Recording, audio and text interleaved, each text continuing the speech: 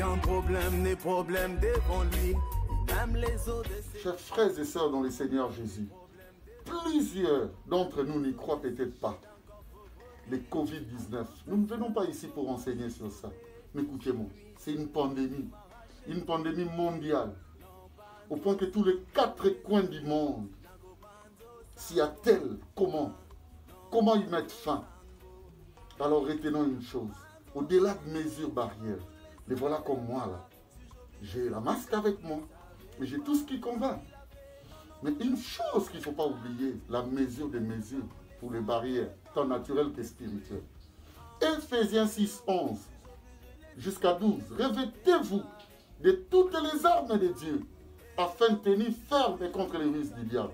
Car nous n'avons pas à lutter contre la chair et le sang, mais nous avons à lutter contre les dominations, les autorités, contre les princes de ce monde des ténèbres, les esprits méchants dans les lieux célestes.